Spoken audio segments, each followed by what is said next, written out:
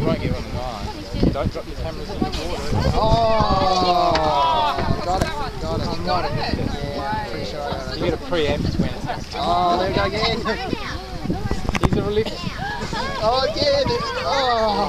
Oh, I missed it. Oh, Coming closer now. had about three pins. We got that. I didn't got to see I did. See why I was going to bring a real camera?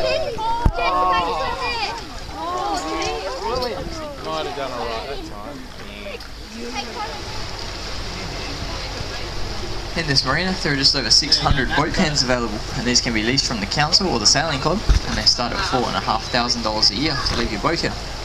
That does include power and water, and a lot of people live here on their boats full time, so that's not really too much to spend to live in such a beautiful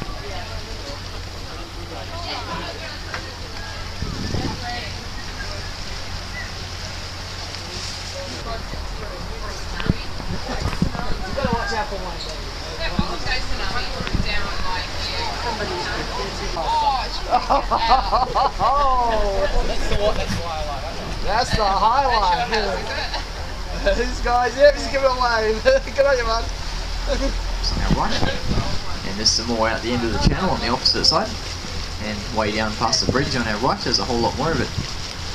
And collectively these are called the Creery Wetlands, and they're of international significance as they provide a very rich feeding ground for all kinds of migratory and local bird life. And some of the birds come from as far as Siberia, what attracts them to Mandurah, that brown grass.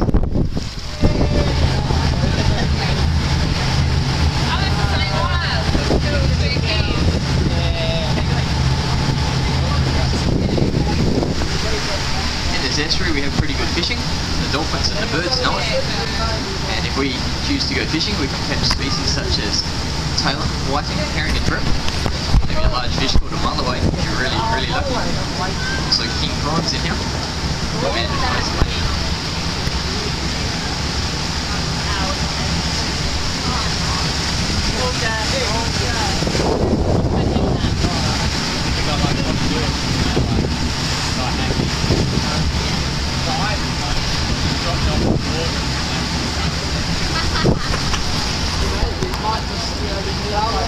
So we're now back the main channel, see down to our right is the old traffic bridge again.